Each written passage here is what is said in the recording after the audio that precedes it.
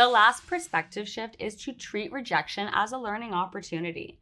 As I keep mentioning, rejection is part of real estate. Mentally strong agents understand that rejection is not about failing, but rather about learning the lesson that they can gain from it. Rejection is also part of putting yourself out there.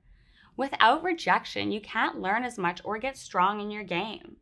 When you think of rejection this way, you may even start to welcome rejection as a learning opportunity.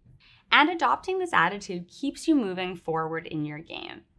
When you use this perspective, you are able to transform every rejection into an opportunity for personal development. Use each rejection to get stronger, better, faster, and more confident in all aspects of your game. A strong agent always asks themselves, What did I get out of this? or What did this teach me? You would be astonished at how strong you can become in the face of no's in this workplace.